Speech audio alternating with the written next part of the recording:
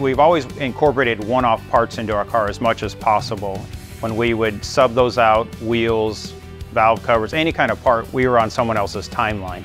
So it wasn't necessarily the quality of the parts or anything like that, but we're subject to waiting in line. So we have a VF5 SS with a TRT210 fifth axis, and that gives us just unlimited capability. The machine is already massive, so we don't have to constantly remove the fifth axis if we're just doing vertical machining. It's off to one side. If we have something huge, it's not a big deal. We can go in there with a forklift, pull it out, reset it when we go in. But we haven't taken it out once yet. We've been able to accomplish everything we need.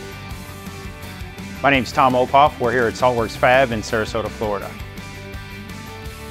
So far, the mass majority of our machine has been for a one-off vehicle that we built. We're building this car for a customer that never existed before, so we have to make everything for it from the valve covers to the brake master cylinder to the gas and brake pedal to the, the dash insert, the steering wheel, the wheels, all the trim around the car, the rear view mirror, the headlights, the headlight bezels and the headlights themselves, the taillight bezels and the taillights themselves. So we machine those all out of acrylic and then we dye it red for the taillights and we keep it clear and it's a polished headlight. We're actually doing that right now. And then we've even got to the point with that car, we'll machine an insert for like a radio cover, but the bezel that goes around it is actually part of the dash. We'll machine that, but then we'll machine the edges out to the thickness of the dash so it can be welded in. But then we know our part fits exactly. So we're not trying to fit a machined part to a handcrafted part, fit a machine part to a machine part. So we typically complete about two to three cars a year.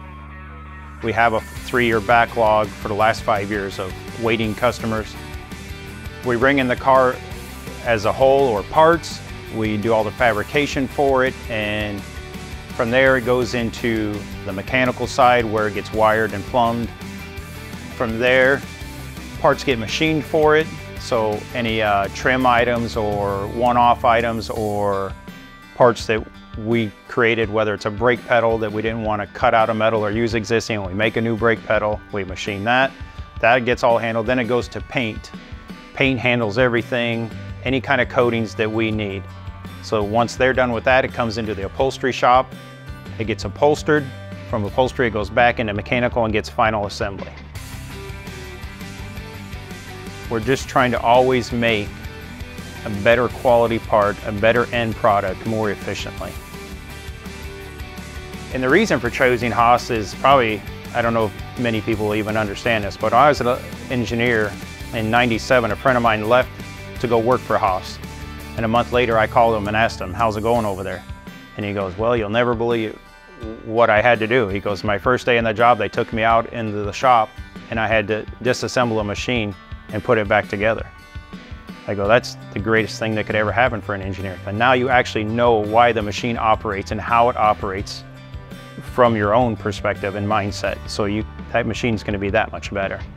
And that, from that day one, I was in love with Haas. And I love ours, it works great. We just can't use it enough.